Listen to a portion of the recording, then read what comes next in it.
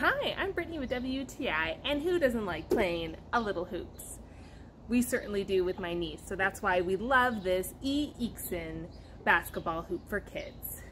Now, my niece loves learning to play sports, and we love teaching her to play sports.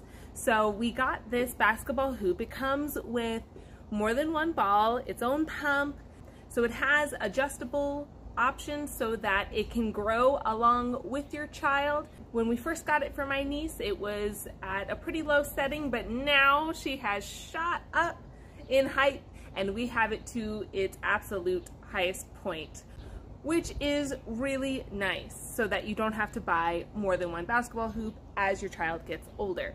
So I really like it. The ball is very easy to bounce for a child. It's not the typical basketball material. It's more of a bouncy ball, which is good because dribbling is a hard thing to learn. So it's good to know that the ball is going to bounce up a little bit more with ease. It's a lot of fun if your family loves playing sports. This is just an easy thing to be able to set up in the backyard. We have a good time playing with my niece and I think you and your child are going to love it too.